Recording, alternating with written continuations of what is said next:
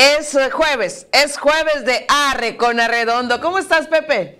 ¿Qué tal, maestra Soledad? Mucho gusto. Bueno, la primera ocasión que es jueves, pero no por eso vamos a disminuir en información deportiva. Si le parece, maestra Soledad, pues iniciamos con información de la Liga Mexicana del Pacífico. Y es que Naranjeros de Hermosillo, hasta ahora una muy primera vuelta, está ya por finalizar. Esta primera vuelta ya finalizará el domingo 20 de noviembre. Naranjeros va a tener la oportunidad de cerrar en casa, va a recibir a Cañeros de los Mochis. Actualmente Naranjeros, pues bueno, en la primera posición con un récord de 20 victorias por solo 11 derrotas, por debajo algodoneros de Guasave con un récord de 18-13. Eso quiere decir que la diferencia de, de, Naranjeros pues es de dos victorias y a falta de cuatro partidos por jugarse está muy cerca de amarrar este liderato. ¿Qué significa cerrar en la primera posición durante la primera vuelta? Pues bueno, obtener 10 puntos que para ser honestos en la Liga Mexicana del Pacífico ya con esos 10 puntos estás prácticamente dentro de playoffs. Así hagas una horrible segunda vuelta, es muy difícil que te quedes eliminado. También de Naranjeros de Hermosillo, pues bueno, esta semana anunciaron que por fin Isaac Paredes, este liga mayorista originario aquí de Hermosillo, ya volvió a ser parte ahora sí de forma definitiva del equipo Hermosillo. No le fue fácil para el equipo de los Naranjeros que tuvieron que ceder tres jugadores, un cambio tres por uno a Águilas de Mexicali. Es un cambio que muchos dicen, perdió Hermosillo, siempre y cuando si Isaac Paredes logra jugar con Hermosillo, va a ser un cambio en el que va a salir ganando Naranjeros. Si no, será otro de esos cambios en los que te traes a un jugador de renombre, pero no obtienen el permiso de las instituciones de grandes ligas para jugar en este béisbol invernal. Así que probablemente está la confianza muy puesta en que Isaac Paredes pueda debutar este fin de semana en casa contra Cañeros de los Mochis. Habrá que esperar.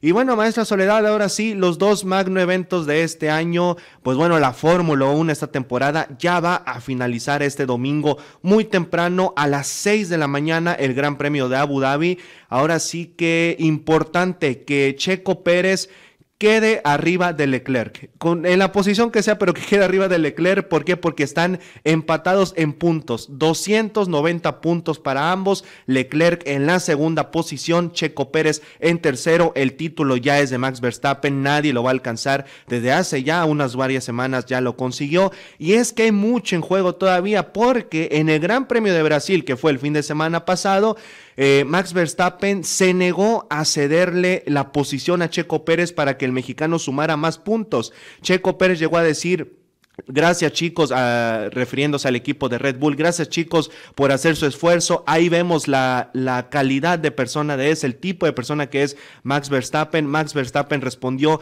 yo les dije que no me dieran esa orden, que no lo iba a hacer.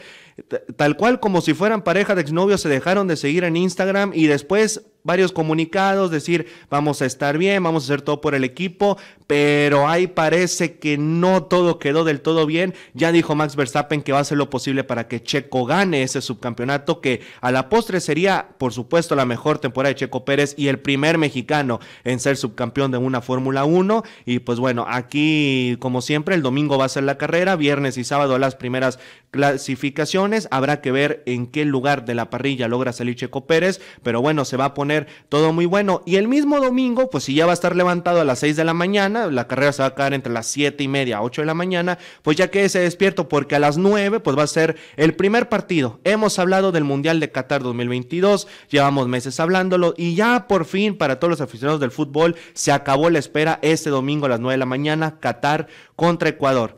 Tal vez el partido no es muy espectacular, pero bueno, es lo que hay, es el anfitrión, es el país Qatar con todo y la polémica. Y ya el martes a las 9 también de la mañana, México contra Polonia, el que pudiera ser el duelo más parejo. Recordamos dos sonorenses eh, con la selección mexicana, hablamos del hermosillense César Montes y el de Navojoa, Johan Vázquez. Por supuesto, le recordamos México en el grupo C Inicia contra Polonia, después contra Argentina y cierra contra Arabia Saudita. No es, un, no es un grupo fácil y por supuesto el pesimismo abunda en el entorno de esta selección, pero vamos a ver si estos seleccionados logran callarnos la boca y darnos una alegría que vaya que le hace falta al aficionado mexicano.